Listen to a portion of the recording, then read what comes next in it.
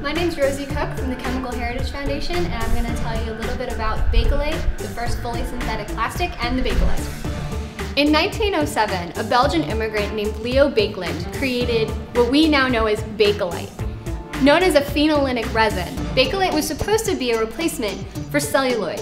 The reason they needed to find a replacement for celluloid was actually because of billiard balls. During a game of pool, if you struck a celluloid billiard ball at just the right angle, the ball could actually explode. So the Hyatt Billiard Ball Company actually held a contest to see who could create a better billiard ball. Leo Baekeland decided to enter his brand new state-of-the-art resin into this competition and ended up being one of the finalists. Bakelite was produced by combining phenol and formaldehyde under intensive pressure and heat. The instrument that Baekeland created was the Bakelizer. The Bakelizer is basically a very large pressure cooker. The Bakelizer, referred to by Baekeland as Old Faithful, was the very first machine used by Baekeland to undergo this process.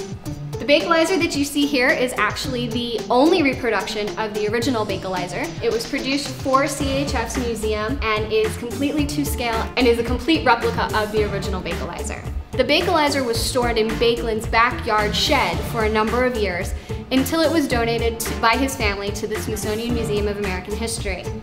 In 1993, the American Chemical Society declared the Bakelizer to be a National Chemical Historical Landmark.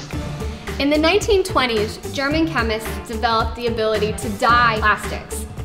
Before this time, plastics such as Bakelite could only be produced in black and brown. Because of this development, resins like Bakelite exploded onto the market. Consumer goods such as poker chips, neck and rings, belt buckles, bracelets became a fad.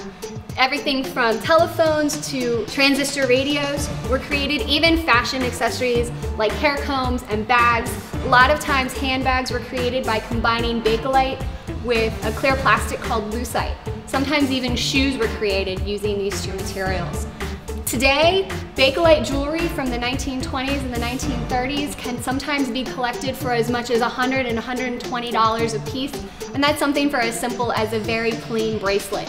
Bakelite and other resins were replaced by polyethylene and other more easily extrudable plastics because of their ease of moldability and castability. If you want to learn more about Bakelite or the Bakelizer, come visit us at the Chemical Heritage Foundation in Philadelphia. I'm Rosie Cook, thanks for watching. Thank you.